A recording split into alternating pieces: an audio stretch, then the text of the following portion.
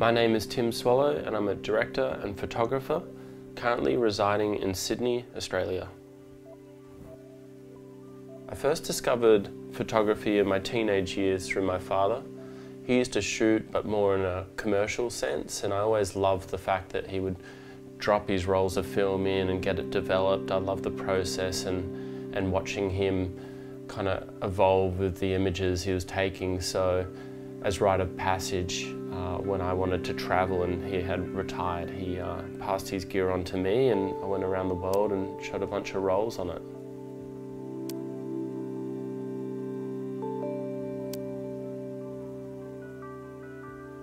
When I first started shooting, it was just all about learning. I just wanted to shoot with anybody at any time on anything. In the early days, it was just all about making art I didn't have a client or a brief, but it was purely from the heart, and I feel like that whole learning experience was so exciting. As I progressed and became more established, I felt like I was shooting a lot less for myself and more for a commercial job or a purpose. I try to bring that old mentality of fast, loose and spontaneous and bring that to my commercial work.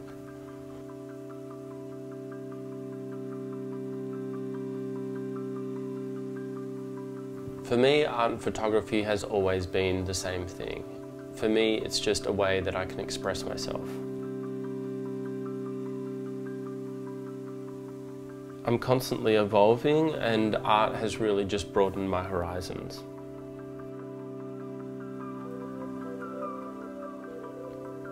Photography has given me so much knowledge and experience. I feel with my job that I'm constantly having to evolve and adapt and problem solve this keeps my mind and body really sharp and I enjoy the day-to-day -day challenge. Art allows me to express myself in so many other ways. I draw inspiration of some of the simplest things in life. Maybe the way someone makes a cup of coffee, or a child's painting, or the way I dress in the morning. I'm constantly inspired by what I'm surrounded in.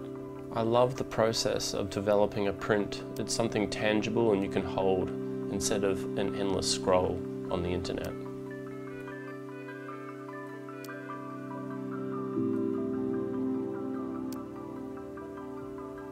If you can spend your life creating art, then that's a life worth living.